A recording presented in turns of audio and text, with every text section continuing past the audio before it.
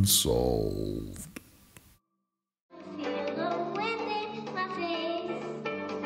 Thousand miles from the city lights. The JonBenét Ramsey case. While the moon shines from above, I wanna meet that. Maybe you've heard of her, JonBenét Ramsey. She was murdered in her home in Boulder, and no one has been arrested. JonBenét's parents were married in Atlanta on November 5th, 1980. John Ramsey was born in Nebraska on December 7th, 1943 and he lived his youth and high school days in Michigan. And Patsy Ann Paul was born in West Virginia on December 29th, 1956. Patricia Ann Paul, Miss West Virginia.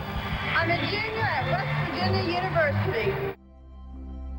Patsy was a graduate of West Virginia University with a BA in journalism in 1978.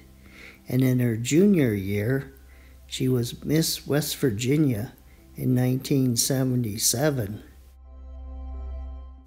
John Ramsey was a graduate of Michigan State University in 1966 and earned a master's degree in 1971.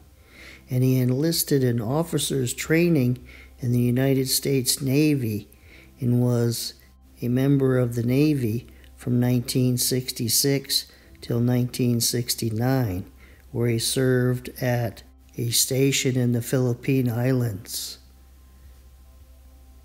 Here's a photograph of the Ramsey family in the 1980s. And John had been previously married, and so he had three children Elizabeth, Melinda, and John Andrew. JonBenét Ramsey was born on August 6, 1990, and Burke had been born in 1987. The Ramsey family, John, Patsy, Burke, and JonBenét, moved to Boulder, Colorado in November 1991. John's older children lived in the Atlanta area with their mother. Tragedy struck in 1992 around Christmas time when John's oldest daughter, Elizabeth, and her boyfriend died in an automobile accident in the Chicago area. December 1996. John Ramsey is age 53 and he's the president of Access Graphics and they've just sold more than 1 billion dollars in products across the United States and in several other countries. Burke Ramsey, age 9, is in 4th grade. John Andrew is in college at Colorado State University in Boulder. Patsy Ramsey, age 39, is a stay at home mom who spends most of her time volunteering at her children's elementary school. JonBenét Ramsey is age 6 and has just started kindergarten. And she owns this little white cute dog that spends part of its time over at the neighbor's house, Joe and Betty Barnhills. A little bit about High Peaks Elementary School. It was started in 1995 by a group of parents that wanted to see high academic achievement in their children. That was more of the focus. So Burke was in the fourth grade, and JonBenét started kindergarten in August of 1996 there. So a lot of Patsy and John's friends were the parents of students at that school, like the Steins, the Fernies, the Walkers, and ironically, not the Whites. Fleet and Priscilla had their children remain at the their area elementary school. High Peaks Elementary School was several miles south of where the Ramseys lived, closer to the Fernie's house, and so they had to be driven to school. Nevertheless, Fleet and Priscilla seemed to be John and Patsy's most closest friends in Boulder. December 6, Lights of December Parade.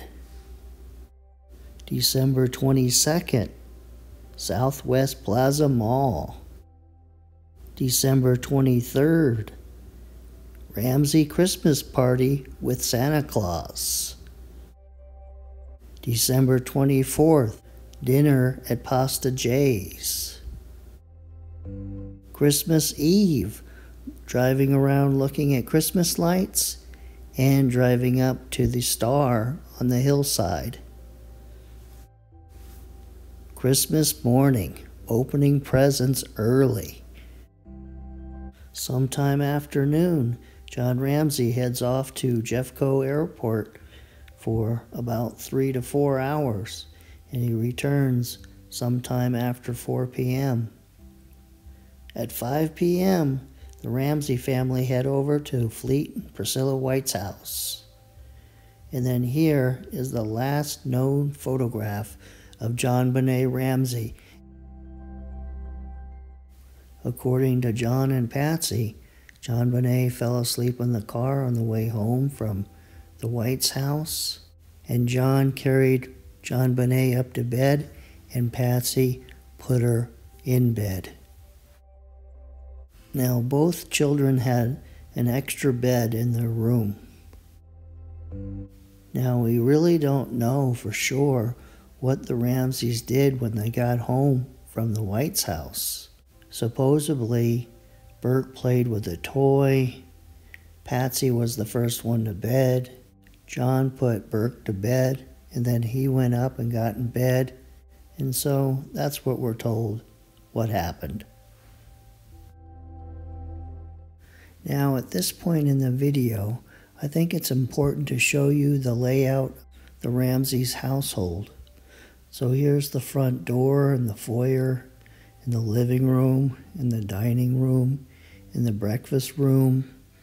And then here is the main portion of where everything took place.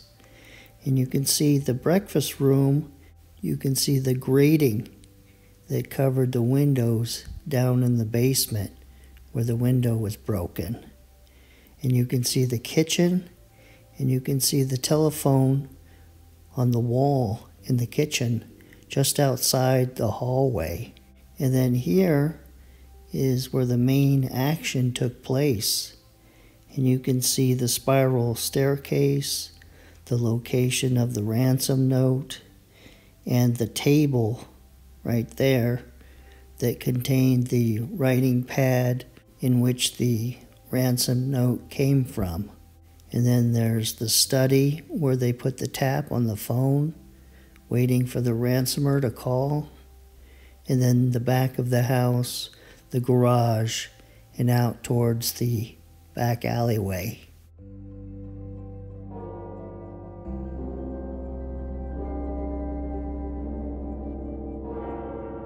Sometime in the middle of the night, JonBenét was taken to the basement, assaulted, strangled, and her skull was fractured. And we're not sure exactly the order that those things took place.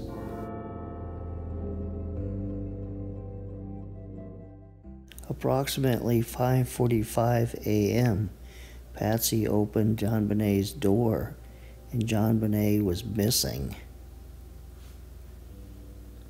Patsy had told the police that she had found the three-page ransom note at the bottom of the spiral staircase. Now, the first page of the three page note begins with Mr. Ramsey, And then the first paragraph states we have your daughter and follow our directions. The second paragraph demands $118,000 and make sure to bring an adequate size attache. Then it states, I will call you between 8 and 10 a.m. tomorrow. The third and final paragraph starts with Any deviation of my instructions will lead to the death of your daughter. The two gentlemen don't particularly like you.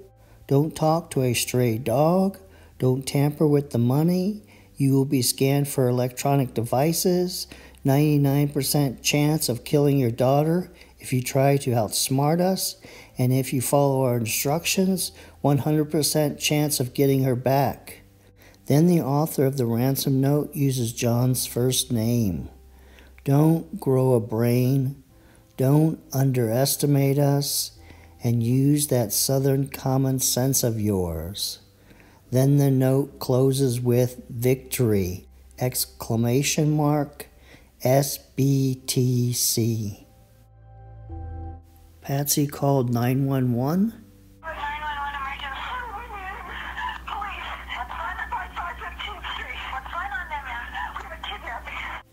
And then she called Priscilla White and Barbara Fernie. Now at 6 a.m. that morning, Patsy was on the first floor waiting for the police. John Ramsey was on the third floor getting dressed, and Burke was on the second floor in his bedroom, supposedly asleep. Boulder police officer Rick French arrived at the Ramsey residence, and then Karl Veitch arrived there and they looked around for signs of forced entry.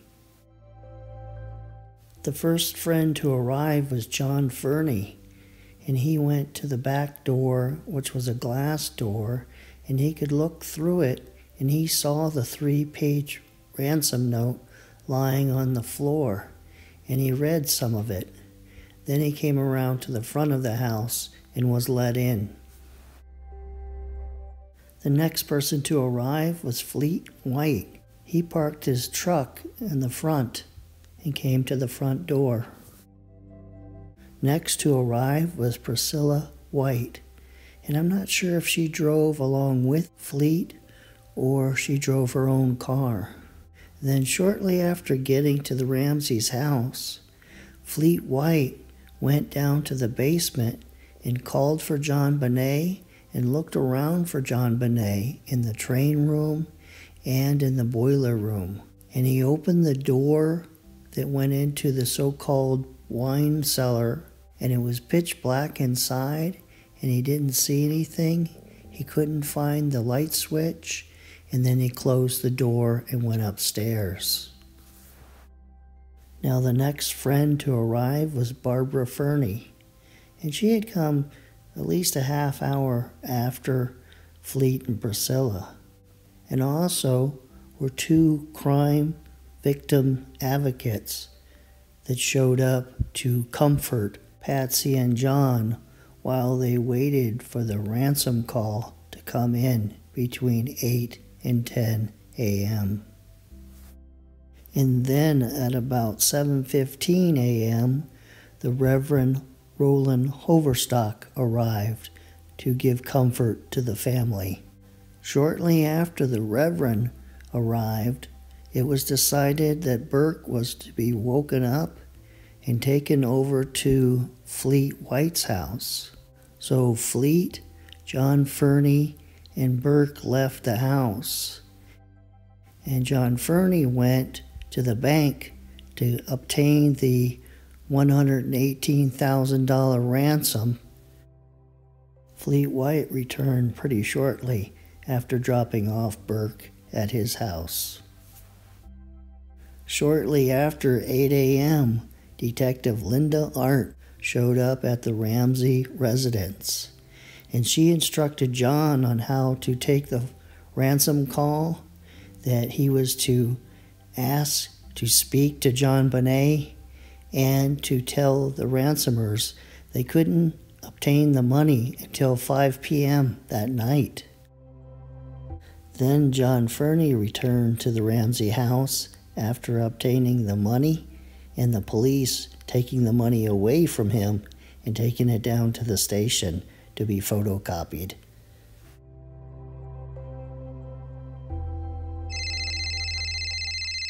Now, that morning, several people called before the 8 a.m. to 10 a.m. time frame for the ransom call to come in and during that time. And so Rod Westmoreland had called about the ransom money, and Mike Archuleta had, called about the planned flight to Charlevoix, Michigan. But the person who took JonBenét to the basement did not call. Now, sometime that morning, John Ramsey remembered that he had broken a basement window during the summer to get into his house because he was locked out and didn't have a key. So he went down to the basement, went over to the window, and noticed that it was slightly open. And so he pushed it closed and he latched it. And then he came upstairs, but he didn't tell anybody that he had went down to the basement. Now around noon, all the police personnel decided, hey, it's lunchtime. And so they took off and went to get something to eat, except for Detective Linda Arndt. And she had the responsibility of staying there with the Ramseys and their friends.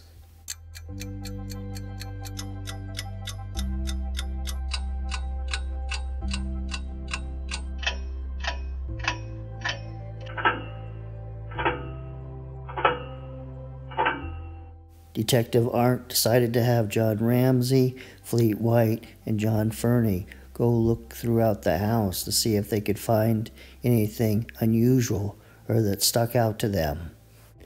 John Ramsey went downstairs to the basement.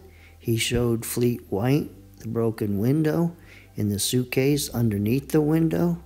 Then he went to the boiler room, opened the wine cellar door,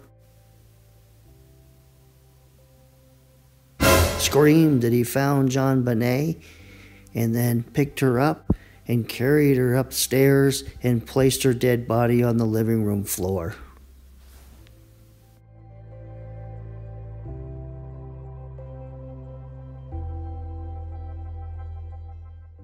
The autopsy report listed ligature strangulation, skull fractures, abrasions on several parts of her body, she had fragments of pineapple in her digestive tract, and she was sexually abused and possibly molested prior to that night.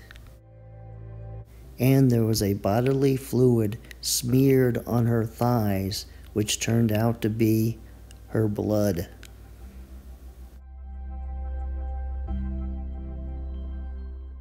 The public was upset. The media went into a frenzy. Should a six year old girl be participating in beauty contests? Did these public appearances lead to her death? Patsy and John immediately took actions to protect their reputation. They retained separate lawyers for each of them they went on CNN and gave their side of what took place that day after Christmas. And then they had a press conference offering a reward to find the killer of JonBenét Ramsey.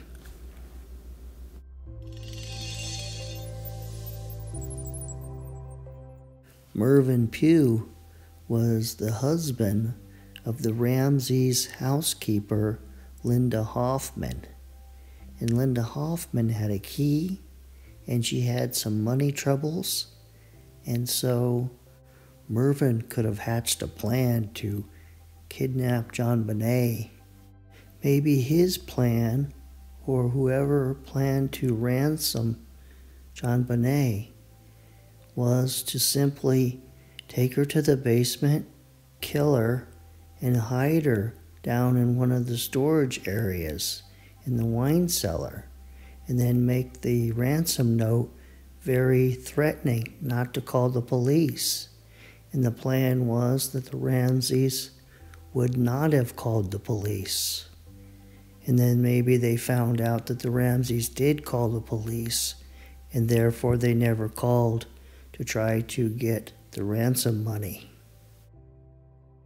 Glenn Meyer was a tenant and lived in the basement of Joe and Betty Barnhill, the ones that watched JonBenét's little white dog. Glenn would have known that the dog was not at the Ramsey's house because it was at the Barnhill's house. He knew JonBenét. He probably could have got access to a key because Joe and Betty Barnhill had. And maybe Glenn's motive was he was a child molester.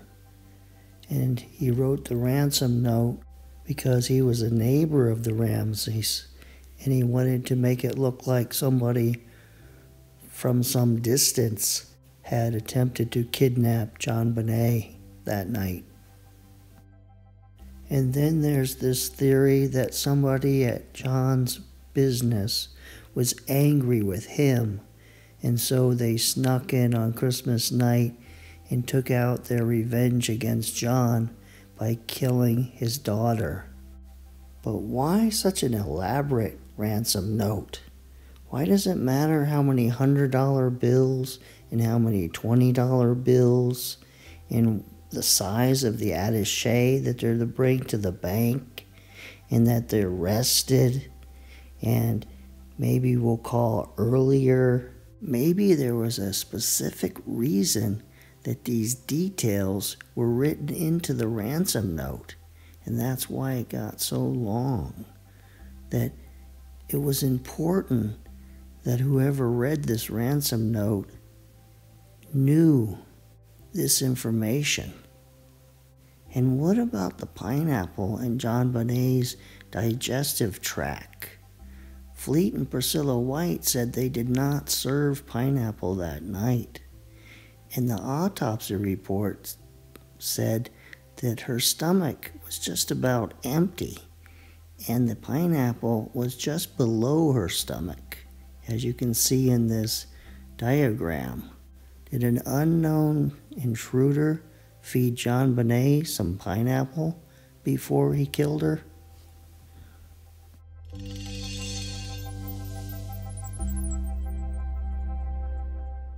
Patsy would wake JonBenét up around midnight to make sure she used the bathroom. Sometimes Patsy was just in the nick of time, but sometimes she was too late. Did JonBenét wet the bed? Did Patsy lose control of herself? Was Patsy up all night covering up this accident?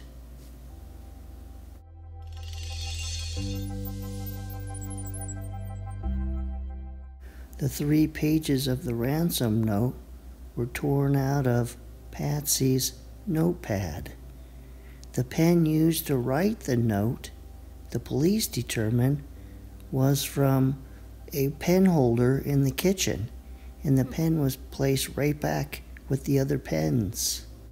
The ransom note has the same paragraph indentations, the exclamation marks, and it looks like it was written by a college educated journalism student.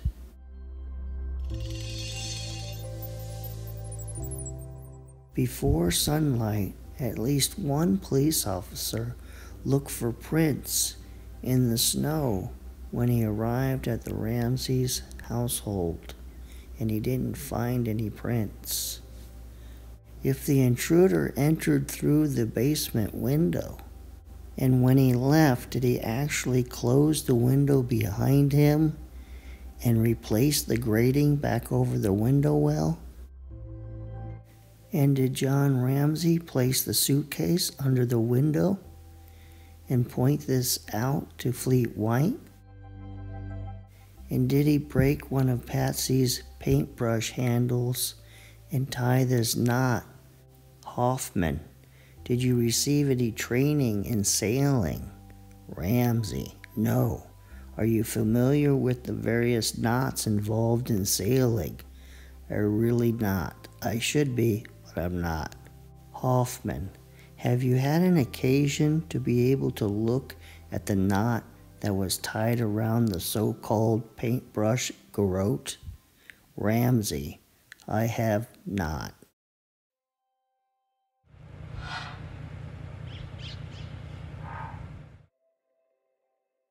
Well, this ends this episode of Unsolved. And next week, we will either follow up with this episode or we will present the trial of Patsy Ramsey. So I'll see you next weekend.